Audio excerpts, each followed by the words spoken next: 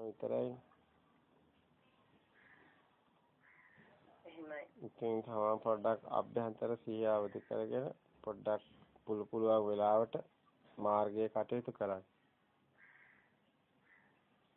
ආරයන් වහන්සේලා ඉන්නත් පුළුවන් නැති වෙන්නත් පුළුවන්. තමනුත් ඒ භූමියට එන්න එපා. හැමදාම මල් පූජා කර කර ගිහිලා හරියන්නේ නැහනේ. වන්දනාවට වැඳ වැඳ යන කෙනෙක් වෙනවද වන්දනාවට සුදුස්සෙක් වෙනවද කියලා කියන්නේ ඒකනේ.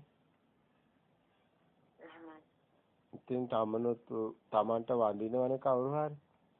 ඉතින් තමන් සුදුස්සෙක් වෙන්නේ.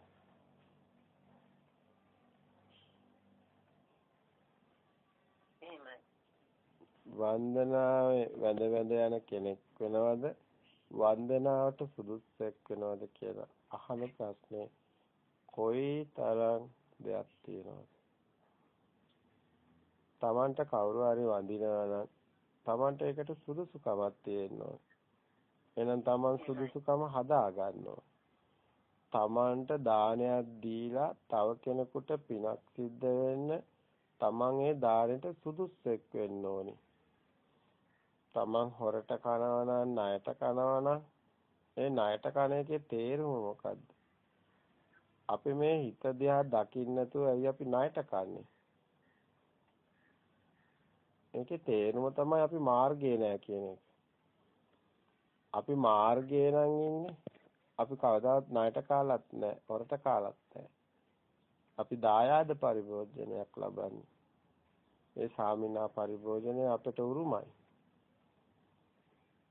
අපි මාර්ගය නැත්තම් ඇයි අපි අයි අපි මාර්ගය කියන්නේ මොකක්වත් අපිට අපිට වියදම් වෙන්නේ නැහැ මොකක්වත් අපිට අපිට මොකක්වත් කරන්න දෙයක්වත් නැහැ අපිට මාර්ගයේ ඉන්නවා කියන්නේ අපි මේ ධර්මයේ තුලට ධර්මය කියන්නේ මේ තමන්ගේම සිත දැකලා මිදෙන ගමන යනවා කියන එකයි. ඒ ආර්යකාන්ත සීලය තුල තමන් කටයුතු කරනවා කියන එකයි. මේක නලුකමක් නෙමෙයි. මේක රඟපාන එකක් නෙමෙයි. මේක කවුරුත් අපි දිහා බලාගෙන රැවටෙන එකකුත් නෙමෙයි. අපි අධ්‍යාත්මයෙන්ම පරිවර්තනය වෙන එක.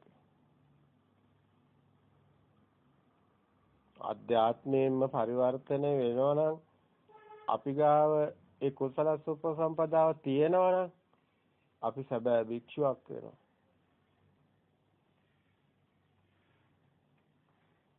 අපි සැබෑ භික්ෂුවක් නම් ඒ ආධ්‍යාත්මිකව භික්ෂුත්වය අපි දරාගෙන ඉන්නවනම් එහෙනම් අපි භික්ඛු කියන්නේ කෙලෙස් ෂේ කරන මග යනවා. එහෙනම් අපි දවසින් දවස නිවනට ලං වෙනවා. අපි නිවනින්ම සැනසීම ලබනවා. අපිට සත්පුජ්‍යල කතාවක් නැහැ. අපිට ආත්ම කතාවක් නැහැ.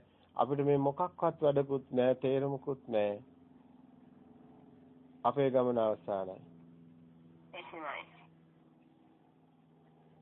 ඒක හිතලා කරන දෙයක් නෙමෙයි අධ්‍යාත්මිකම පරිවර්තනයක්.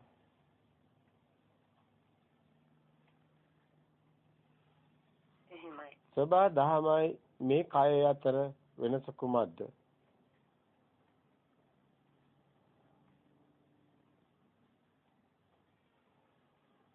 එහෙනම් මේ දෘෂ්ටිය නැති තැන ඒ කය පමණයි ඒ සබා දහමයි. ඒ පොළොවට පස් වෙන පස්ම පමණයි.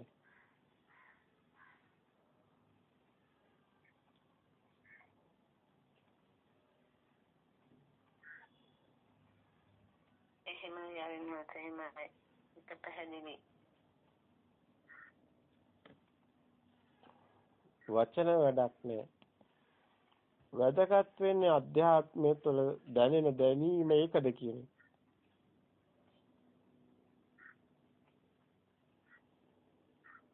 එතන මරණයක් නෑ. එතන ආත්මයක් නෑ. එහුලඟ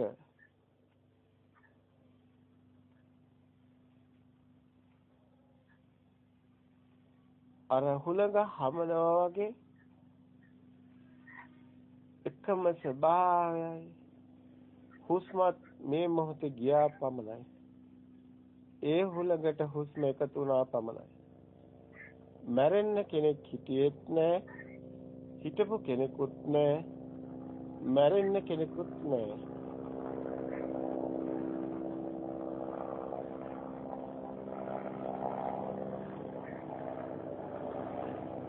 එහෙමයි ආරම්භ එහෙමයි.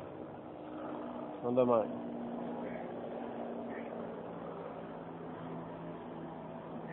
එහෙනම් ප්‍රායෝගික වෙන්න ඕන එහෙමයි ආරම්භ. හ්ම් වචනෙට වැඩිය නිහඬව අපි ගමන යන්න ඕන. එහෙමයි. අපි හැමතැනම වචන දෙකක් කියනවට වැඩිය එක වචනයක් කියලා නවත්තන්න ඕනේ. පුළුවන් නම් ඒ වචනෙත් නොකිය නිහඬව යන්න ඕනේ. එහෙමයි. ඒ මගයි ආරි භූමිය. ආර්යයන් වහන්සේලාට වචන නැහැ.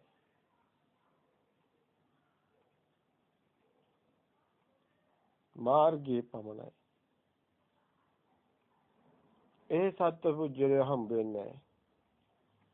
ස්වාමීනි ඔබ මිනිස්සෙක්ද? නම මිනිස්සෙක් නෙමෙයි.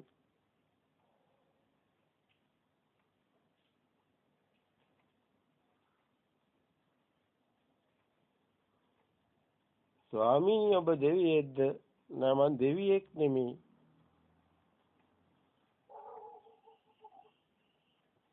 ස්වාමීනි ඔබ බ්‍රහ්මේද? මං බ්‍රහ්මේකුත් නෙමෙයි. එනම් ස්වාමීනි ඔබ ගන්ධබ්බේද? නෑ මං ගන්ධබ්බේකුත් නෙමෙයි. සත්වේ පුජ්‍යලයක් නෙමෙයි නම් ස්වාමීනි ඔබ කවරෙක්ද? ඒ බුද්ධ ස්වභාවයයි. ඒ ශුන්‍ය ස්වභාවයයි. ඒ සබහා දහමයි. ඒ සබහා දහම තුල කොයින්ද දෘෂ්ටි? දෙයක් නැහැ. ආර්ය භූමි. ආර්යයන් වහන්සේ. අරියානං දස්සාවි අරිය ධම්මේසු කෝවිදෝ අරිය ධම්මෝ ඉනියෝ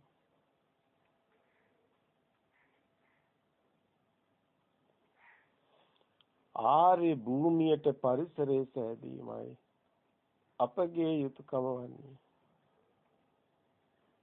කාලේ වැලිතලාවට සැඟව ගිය ඒ සත්‍ය.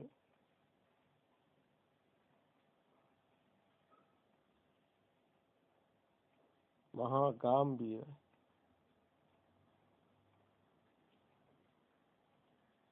ඒ ආර්ය භූමියයි. ආර්යයන් වහන්සේලාගේ භූමියයි නිස්සත්ෝ නිජීවෝ ශුන්‍යෝ. ඒ අනුත්තරත්වයයි සදාතනික සුවයයි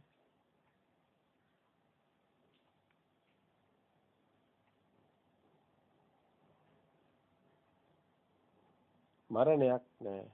මරබියක්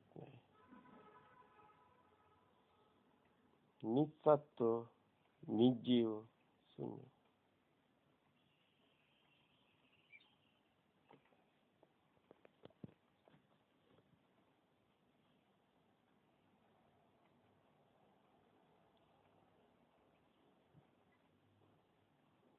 එහෙමයි ආරම්භ.